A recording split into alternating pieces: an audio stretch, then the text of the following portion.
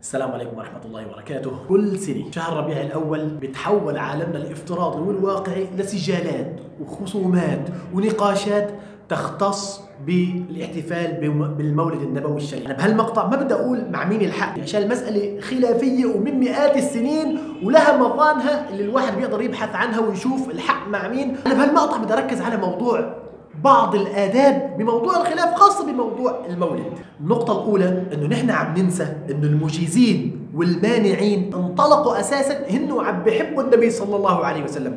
يعني أنت هلأ بدك لما بدك تحكي مع حد تعرف إنه هو عم بيعمل هيك عشان بحب النبي صلى الله عليه وسلم. وأنت كمان بدك تحكي مع هذا عشان بحب النبي صلى الله عليه وسلم. الأسلوب اللي عم نشوفه بالتعامل مع بعض بوسائل التواصل الاجتماعي على الفيسبوك وغيره يعني عن جد أسلوب يندى له الجبين بيجي مثلا المانع بيتكلم مع المجيز لنا السنة ولكم البدعة لنا الاتباع ولكم الابتداع. يعني آخر مرة أنا شفت هالأسلوب بفيلم الرسالة.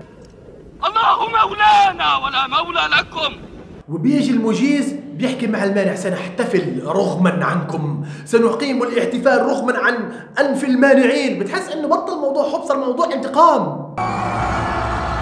فأول نقطة انه نحن نتعامل مع بعض على أساس إنه الاثنين بنحب النبي صلى الله عليه وسلم بس اختلفنا بطريقة التعبير. في صح وفي خطأ. نتناقش برواء بهذه المسألة. اثنين انه بنشوف بعض اللي أجازوا الاحتفال بمولد النبي صلى الله عليه وسلم بيتهموا كل اللي ما بيحتفلوا إنه عندهم جفاء.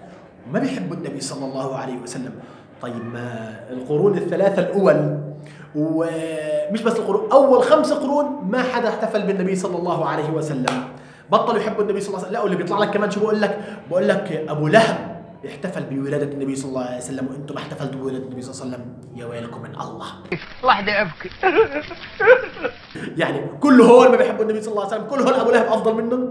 وبالمقابل بيجي لك بعض المانعين بقول لك آه، ما في حدا بيحتفل بالنبي صلى الله عليه وسلم إلا وهو يزعم أن محمدا صلى الله عليه وسلم خان الرسالة. وبيستدل بقول الإمام مالك رحمه الله من زعم أن من قال أن في الدين بدعة حسنة فقد زعم أن محمدا صلى الله عليه وسلم خان الرسالة. طب كلام الإمام مالك مش على كل شخص بالعام بالبدعة الكبرى. وإلا مثلا من قال بالبدعة الحسنة والبدعة السيئة مما ينسب إليه الإمام الشافعي والإمام النووي والإمام ابن حجر بعد لك الآن أكثر من 100 عالم قالوا بهذه المسألة. فخلينا نحن نحترم العلماء والفضلاء يلي من أصحاب القول الأول والقول الثاني. قبل ما نطلق الأحكام خلينا نركز شوي. وخذ نفس. النقطة الثالثة إنه بحال أنا وياك تناقشنا باسلوب وبرواء، المجيز ما اقتنع مع المانع والمانع ما اقتنع ما اقتنع مع المجيز، ما إذا رجع راح احتفل أو ما احتفل أحط عليه نقطة، القضية منا اتباع هوى، قضية اتباع. أدلة، هون عندنا أدلة وهون عندنا أدلة، بس في شيء أقوى من شيء طبعا، والعلماء سابقا اختلفوا بمسائل أعظم من هيك وأكبر من هيك. مع هيك ما ما حصل بينهم تدابر ولا تنافر، بالعكس خلص خالفني بهذه المسألة، بعرف حجم المسألة قديش هي؟ بعد عندي طلب صغير يعني إذا أنت عم بتشوف هالمقطع وحابب تسمع لحدا تعمل له تاج أو منشن إذا أنت عم بتشوف المقطع من اليوتيوب اعمل اشتراك. وفي جرس كمان هيك لما تعمل اشتراك كمان اضغطه عشان يوصلك كل شيء. وإذا عم بتتابع من الفيسبوك اعمل متابعة. سبحانك اللهم وبحمدك نشهد أن لا إله إلا أنت نستغفرك ونتوب إليك. والسلام عليكم ورحمة الله وبركاته.